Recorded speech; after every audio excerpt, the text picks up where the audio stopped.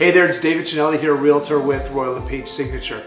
Today's Monday motivational quote comes from Eckhart Tolle, in which he states, the past has no power over the present moment.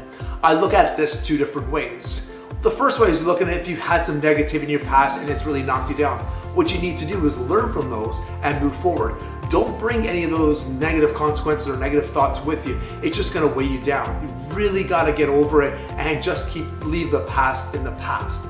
But the other way you can look at it is the opposite. If you've had some amazing success in the past, you can't really rest on your laurels and just expect because you've had a great past and things that happened to you back then, that it's gonna carry out to the future.